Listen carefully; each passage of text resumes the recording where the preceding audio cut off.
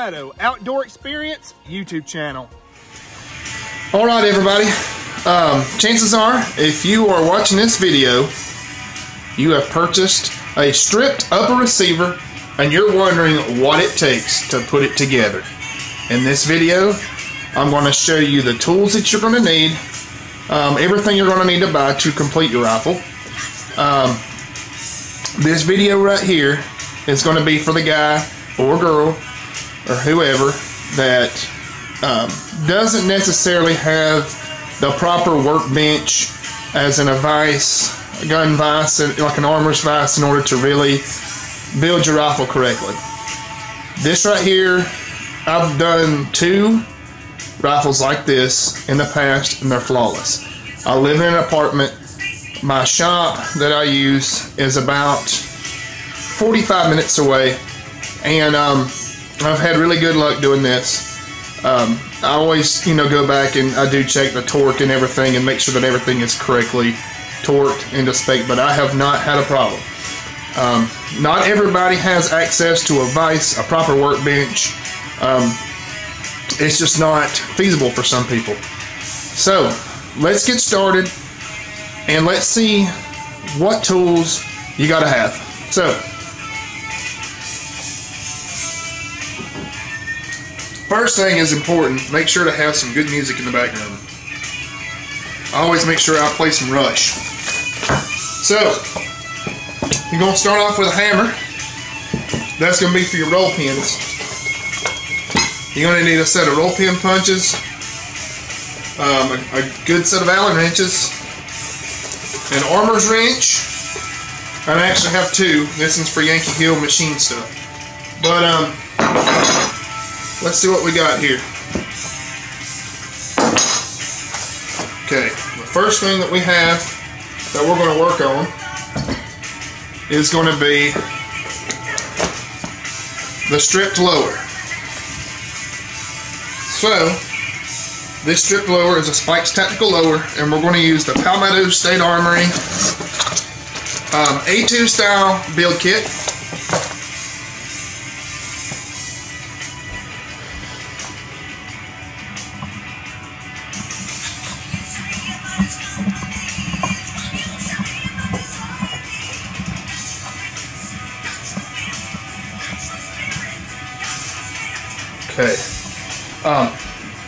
Kind of change the camera angle a little bit. So, I know this is going to be like three different gun manufacturing companies' parts into one. You know what? I don't care. It works. It works for me. It'll work for you. This is kind of a budget build, but it's also going to be, I'm thinking, pretty nice. It's going to be a really oddball rifle. And, um, yeah, it should be fun.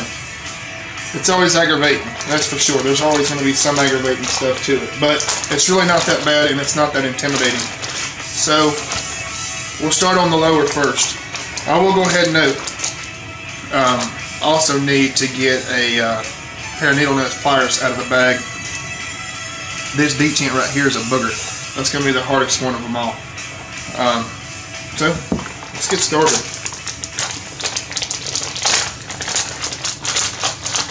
Alright, we got our hand grip, our trigger parts. We won't be needing this one. Uh, we'll be needing this screw, but we don't need the trigger guard. We'll need more spare parts.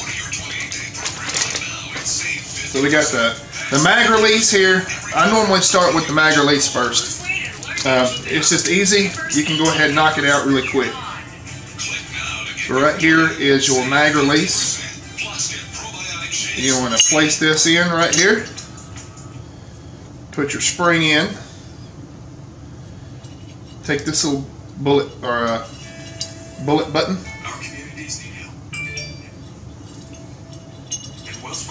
And the way that I do it, I'm kind of going in reverse right here.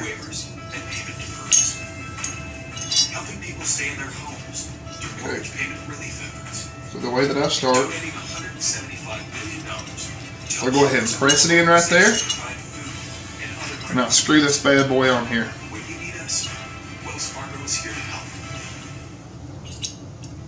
the key is, is you want to make sure that you get this, the bolt here, about flush. And what I'll have to do is get something, like a, something plastic. I normally use a pin to push down my button there all the way. And this allows you to screw it on in. I'm going to check where we are right here. Okay, um, I'll put a magazine in it because I might have to uh, wind it in just a little bit more, but I normally keep it flush. That normally works.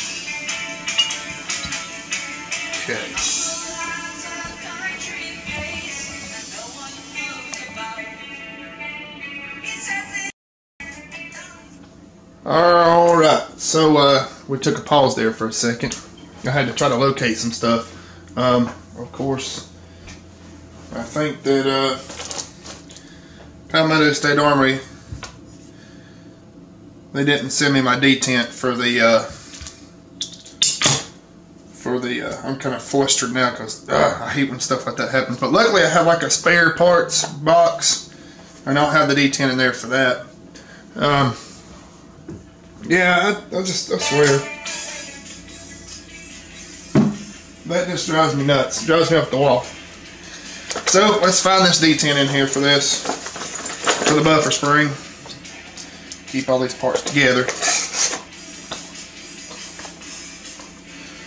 Yeah, I picked that up a long time ago and I just had it for spare parts.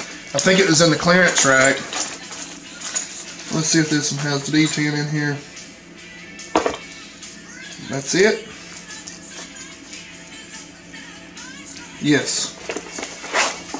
The springs. Trigger guard. Springs. Hopefully we can find the correct one. I gotta remember. Okay, it should be this one here.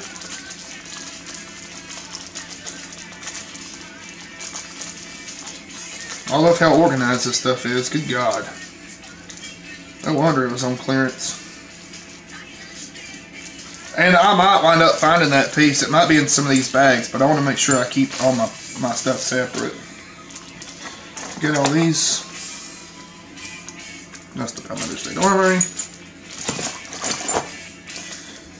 It's always good to keep spares, especially detents and springs, because you will lose them.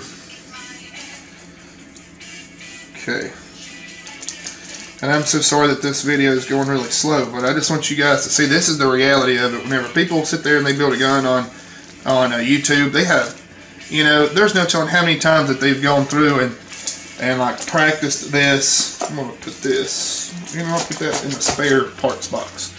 And um, they don't show you the reality of it that you're you're gonna lose stuff.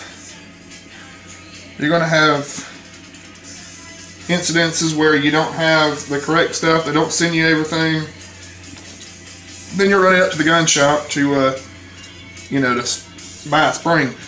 So that's how that detent right there goes in. It's that spring here. You can see it, you want to push that detent all the way in. Kind of hold it down.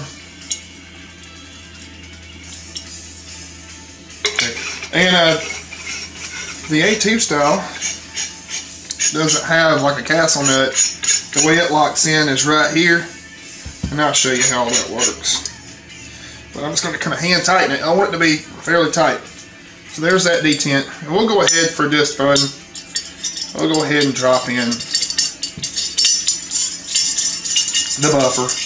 Now this is a rifle length buffer system. Hopefully I won't have any problems with gassing or, you know, because I am using a carbine length barrel. Should be fine. I've done this before, so. Alright, the next step is we're going to need to put, I think, the trigger in next. Because we have this detent right here for the, uh, um, the rear pin. I'll have to mess around with it for just a minute just to make sure. Like I said, I haven't built one of these in about a year. So uh, it just take me a minute to just remember everything. Um, I know how they go together.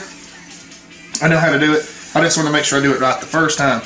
And it's good to take your time and, um, you know, don't try to rush this because if you rush it, you're going to have problems. And I have had those problems. I actually bought a trigger from um, Bear Creek Arsenal one time, bought a rifle from them. And um, not trying to knock on the company, but the something was, was extremely wrong with that trigger. And the, uh, I guess the sear catch or whatever was non-functional or it was just out of spec so bad. And uh, first shot, the rifle ran full automatic. Um, scared me because that's not how it was designed to do. And um, I wound up jerking all that stuff out. Long story short, I never bought anything from them again. But it's things like that that you got to pay attention to. And, um, you know, it, uh, it can be aggravating. But yeah, let me uh, fiddle with this for a little bit and um, I'll be right back. Alright guys, so we're back. Um,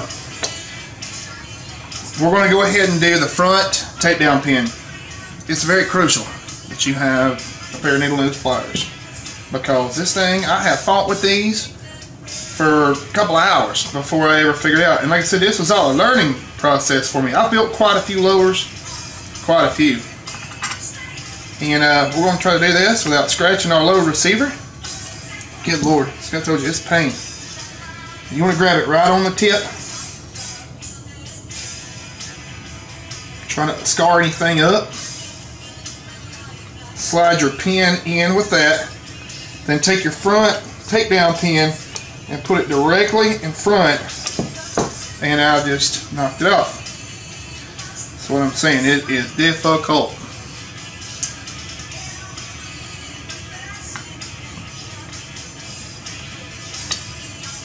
That spring's under a load. Uh, our orientation's correct. Dang. I'm going to fight this one. See, this is what you don't see whenever these guys sit there and they put them together really quick. They probably tried it for seven or eight times and they picked out the shot that was perfect. You're going to fight this. Look at there. We got it. To remove this, which I'm not going to do. There is a hole right here, and it looks like the spike's tapped. No, no, no, no, no, no. We're good. What you'll do is you'll put a needle inside there, push the detent down, rotate the pin, slide it out. It'll all come apart. Oh, nice. Nicely done. So right now, if you're following this video, you have installed, we have installed the uh, a2 style buffer tube and um, the buffer or the A2 stock which the finish on this thing is terrible for $175 Palmetto State Armory could have done a little bit better. But like I said we're going slightly budget. Um, we, we, at least did spend some good money on the barrel. Um, and the the uh, gassing system and all that. I have right around a thousand dollars in this thing, believe it or not. And I went, I'm not going to say cheap, because nothing about it's cheap, but um, a little bit more on the affordable side, because not everybody can afford the very best. And um, this, like I said, is just for the guy who, or girl, who bought some stuff, and they're going to try their hand at putting one together. So, that's going to do it for the first part of the uh, lower receiver build. The next thing we're going to do is going to be trigger, safety, and uh, uh, grip here. And then we'll tackle this roll pin. I really want to make sure that I can find some tape to put over this because you're going to be striking it with a hammer and you're going to have a, uh, this is where you're going to use one of your roll pin punches. You're going to use these twice. You're going to use one on the gas tube and you're going to use one right here. So you're watching the Palmetto Outdoor Experience. Um, if you're watching this, make sure to like and subscribe. Okay, guys. So if you watched in the in the first part, mm, we uh, we went ahead and um, we installed our takedown pins, our mag release, our buffer, and our uh, stock here. So the next part we're going to do is uh, we're going to go ahead and slide the safety or the uh, selector pin in right here. I really need a knife.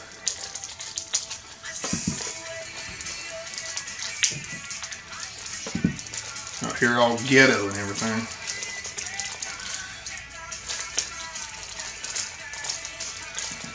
Okay. Dang. Some good plastic here. Plastic. Okay. So I believe we need to put it on uh, the fire. I can't remember. But all right. So the first thing you got is your um, your trigger, and this is the way that your spring should be oriented. My camera battery actually died, so I wasn't able to record putting the springs and everything on. It can be a pain, but it's not too bad. You just want to be really careful. I've actually broke these springs before from Palmetto State Armory. They're brittle sometimes. And this right here, I think it's called your disconnector spring. I could be wrong. Please don't destroy me in the comments. And this right here is your disconnector. And it sits like so. So let's go ahead and put this piece in the rifle. And I might have to take this pin out, or the uh, the uh, mag kit, or the sorry, the selector. I think you do. I can't remember, but we're about to find out what you have to put in first, because I know it's one or the other. It's been a little bit, like I said before, I put you know since I put one of these together. So there we are. All right, it sits right in there like so. And we're going to go ahead and put the. Uh, yep, that's the way you do it. I couldn't remember. It's been it's been a while. And we're going to go ahead and push in the pin. Trigger pin. Uh, let's see here. Get it halfway lined up. Right. And this is just a little tedious stuff that you gotta just take your time with. Make sure I have my pin indexed right. And uh, I've said it before, I'm no professional. I'm just trying to show you guys how I do it. And sometimes I'll use one of these as a line-up pin to kind of help gauge it. And this one's tight. Or I could be putting it together wrong. Shouldn't be though. I just know she's got some clearance issues here. I'm not going to tap on it because it should just slide right in. But, you know, we are using different companies and different manufacturer stuff, so it could be just a little bit different, a little bit of variances. It looks clear. The hole looks clear.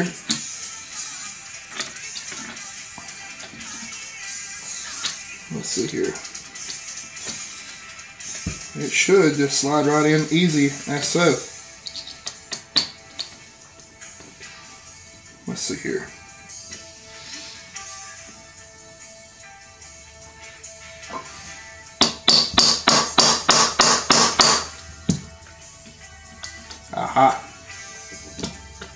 See what our problem is. We're not lining up with our sear. Okay, and I really don't want to hit this thing with a hammer. This You're not supposed to do that.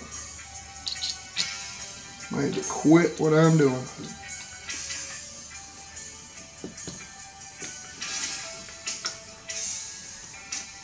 It's just, um, I don't know why this one's being so tricky. It's a really tight fit. Really tight fit.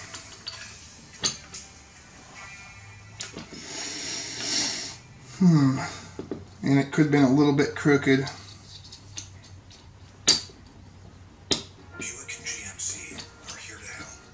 Let me fool with this for just a minute, but you get the basic concept here.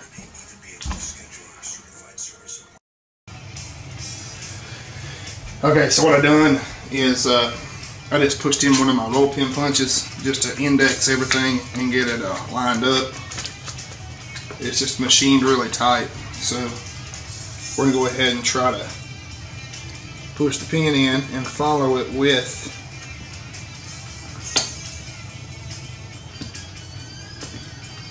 the roll pin punch. This is just machined really tight, I guess. The tolerances are just super tight. Because we get right here to the sear of the disconnector and it wants to stop. And it should be lining up, but it's a little bit of trouble. I'm going to work on this for just a second and get this pin in.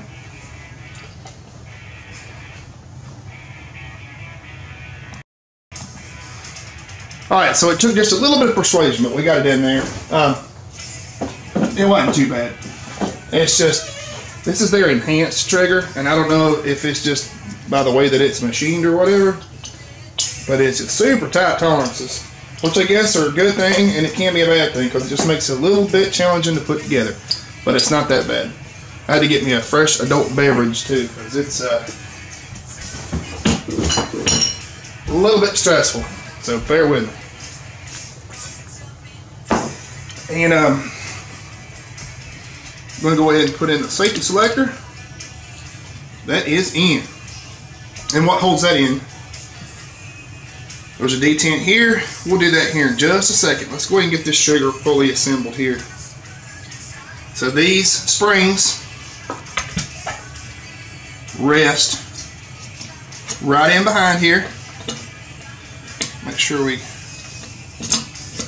seat those springs correctly. I need to find that pin.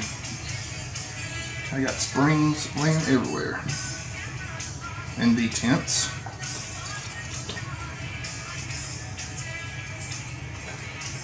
Okay. So let's see if she goes in. A little bit challenging here. Not too bad.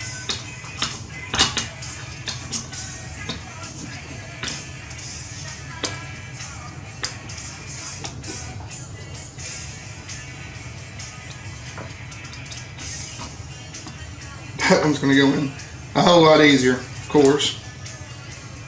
Make sure that's just oriented right.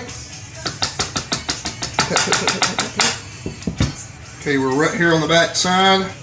Make sure it's lined up nice and smooth. We don't want to burr anything. You probably don't want to strike it, but I'm barely striking it. I wish I had a rubber mallet. Okay. Let's do a function test on our trigger. Okay. Alright, safety. Works. So, I know it was a little bit uh, janky looking in order to install this, but uh, it's not as easy as you think. And it is easy, it just, you know, circumstances. So I actually have two different, um, from two different companies. I think this one's the Palmetto State and this is the XTS build kit from um, Academy. I just use that for parts. So, let's get our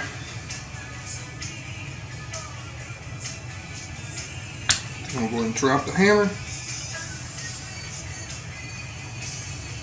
Let's flip it over and uh, put the next detent in.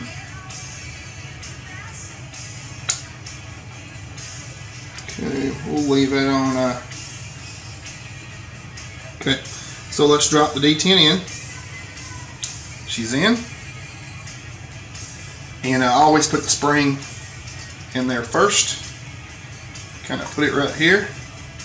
Line it all up and roll it in. Now before we bolt it, we're going to go ahead and just test. Test our safety. And it works as so.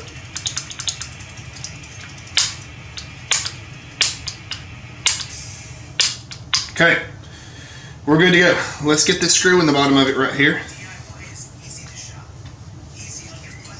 And uh, I will go ahead and say again, I am no professional. I have no formal training. This is just an average guy putting together a rifle in his home. We're going to just set that right there. hopefully this will help you guys out. If there's anybody out there that, that want to do this and you're just kind of intimidated, you know, you think you got to have all this special stuff. You do, and to do it right, you know, you do. But go ahead and make sure that's going to start smoothly.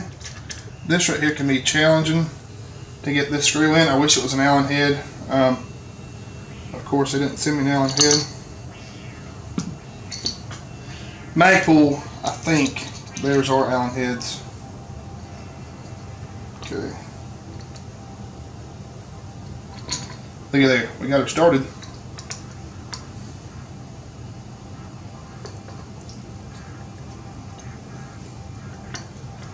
And I should be using Loctite on all this stuff. And I will once I, because I want to go back with Magpul on everything. And whenever I do that, I'm going to definitely Loctite everything correctly. Um, handguard included. But right now, this is just for uh, educational purposes here. But you would definitely want to put a, a dot of Loctite on there. I'm not going to tighten it too tight. So, let's see what we got. Okay.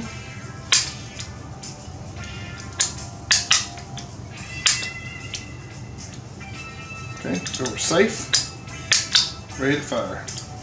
And you know you can't put the safety on unless it's cocked back. So,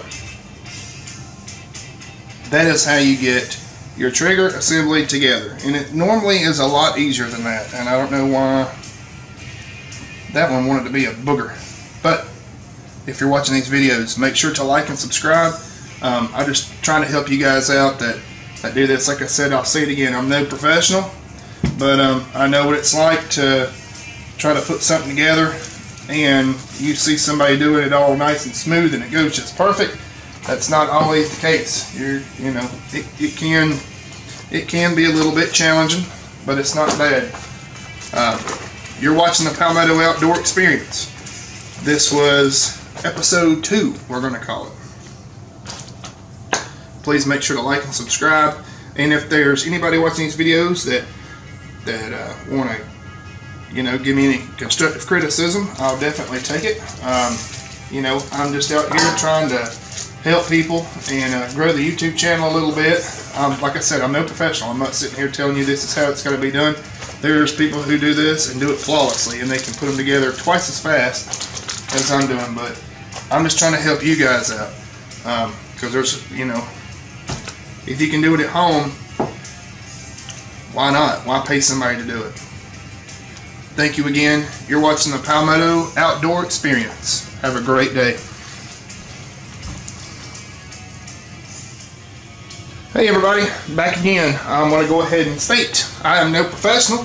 I'm just here to try to help. If you have any questions on how to assemble your lower, and um, well, pretty much we're going to build an entire gun.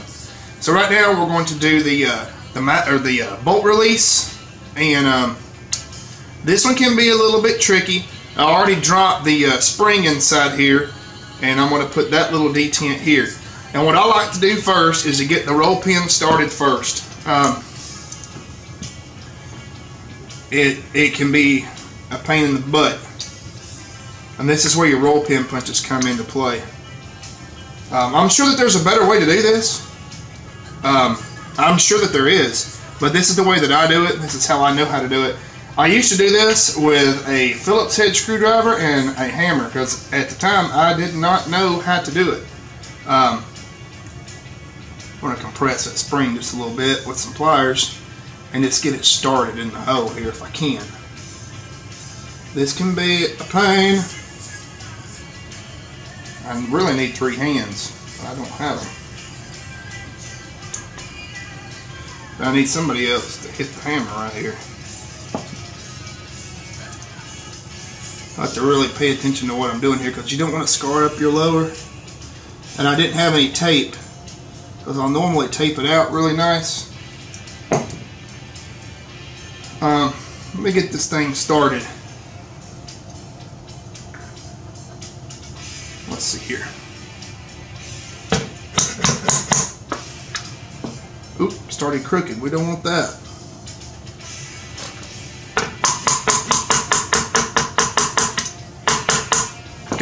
We don't want to go too far, but we do want to get it started. This right here is where it really helps to pay attention, and you have to have a set of roll pin punches. Um, I've seen people that just beat the piss out of their lower. Don't do that. Um, make sure that this is oriented correctly here. Alright, stupid, make sure you put it in right now. what am I doing?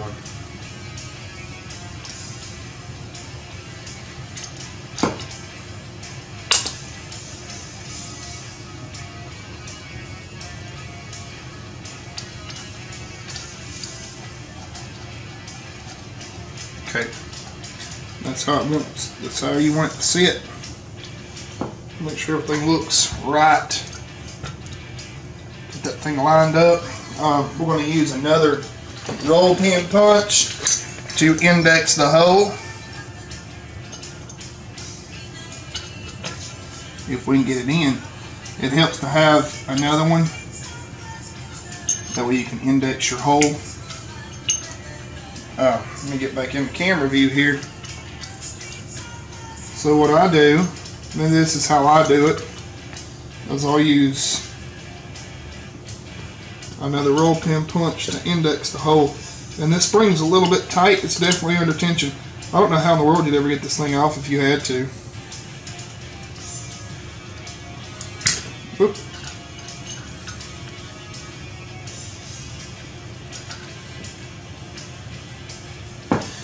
Let me pull this, uh, let me knock this pin just a little bit further through. It'll actually help us get this thing together. Don't worry about flush.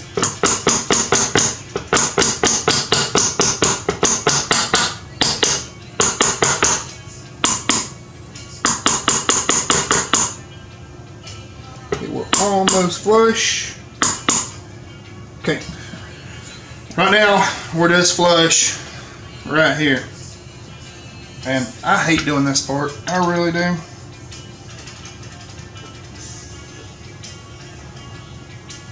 The key is to just make sure it all stays lined up. if it don't, you're in a world of mess.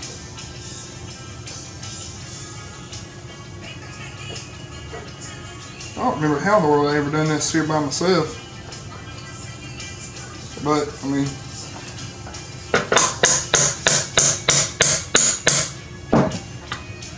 Okay, look at there, guys. We got it started. It wasn't too bad. We got it started. We want to go ahead and send this roll pin home. And I'm just kind of put something over this because we're going to be striking it barely, but we still might hit it. We don't want to do that.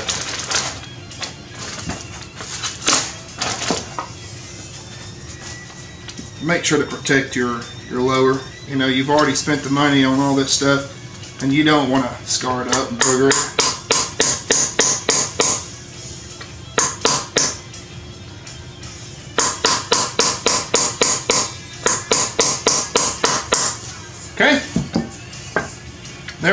How you put in your mag or uh, your bolt release. It wasn't too bad. So that right there is a 100% completed. Lower receiver. Um, we would normally have to put in the uh, trigger guard here, but this being a Spikes Tactical, they're already molded in, or they're already machined in, or casted in, whatever you want to say. Everything's good and smooth, function test and everything. Um,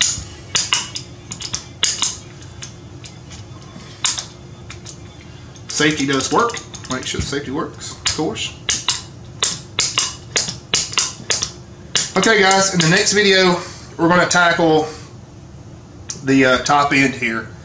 So stay tuned. Make sure you like and subscribe. Um, like I said again, I'm no professional. I'm just sitting here in my house like most of you people are. You don't have access to all the fancy tooling and everything.